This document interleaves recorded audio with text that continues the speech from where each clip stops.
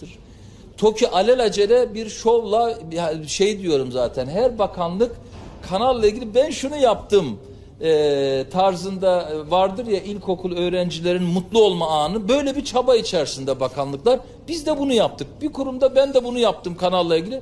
Birisine bir kişiye sempatik görünme çabası içerisinde kanal mevzusunu kullanma e, girişimi diye görüyorum bunu. Bir konut projesi hazırlamışlar ya hala içinde parselasyon işlemlerini bile tamamlamamışlar. Varsayalım ki doğru bir iş yapıyorlar. Mülkiyet, parselasyon, e, plan uygulamaları devreye alınmamış. Kaldı ki davalar var. Yani planla ilgili davalar var. Bakın biz projeyi milyonlarca insana soruyoruz. Ya siz İstanbul'a 2 milyon insan yerleştirmek için acele ediyorsunuz. İstanbul'un böyle bir şeye tahammülü yok. Ve İstanbul'un hiçbir kurumuna sormuyorsunuz. İstanbul'un en ana kurumu İstanbul Büyükşehir Belediyesi'ne sormuyorsunuz. Açılan davaları yok sayıyorsunuz. Ben konut yapacağım orada diye bir hamleyle yola çıkıyorsunuz. Davamızı açacağız.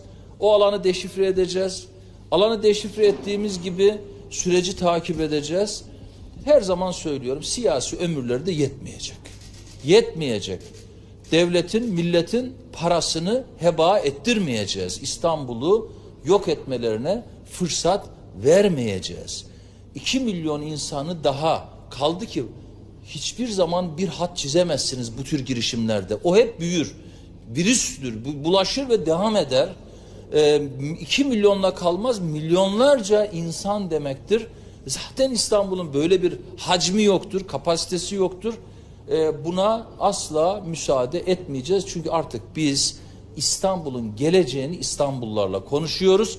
Bir kapalı odada 3-5 kişi bir kişinin dediğini uygulayan bir metodu da yok sayıyoruz. Yok hükmündedir. Siyasi ömürleri yetmeyecek.